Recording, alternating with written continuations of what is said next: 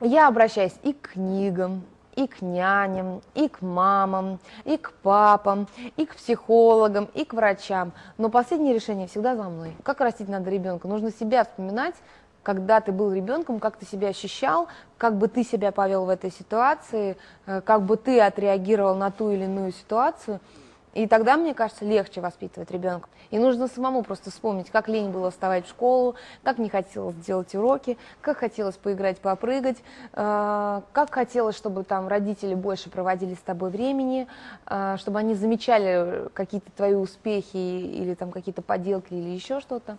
Поэтому просто нужно внимательно относиться к своим детям. Я все-таки люблю советы, я их читаю, мне они интересны, но какие-то советы я оставляю для себя, какие-то я не оставляю. Некоторые вещи нужно все-таки посмотреть книги, посмотреть психологию ребенка, как вот в этой ситуации разряжать его. Вот по этой теме просто каждый дайте совет. Вот как чувствуете вы, как вы воспитываете своего ребенка? Вы э, сами никогда не играли на фортепиано, а его все-таки решили заставить?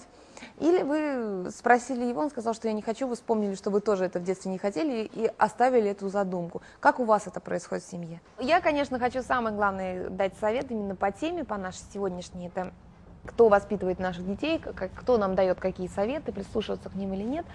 Для меня самое главное, вот я всегда останавливаюсь, когда я хочу что-то сказать, сделать замечание, вспоминаю себя, как я вот чувствовала себя в этой ситуации. Вот вспомнить себя ребенком, как тебе хотелось попрыгать, побегать, поиграть.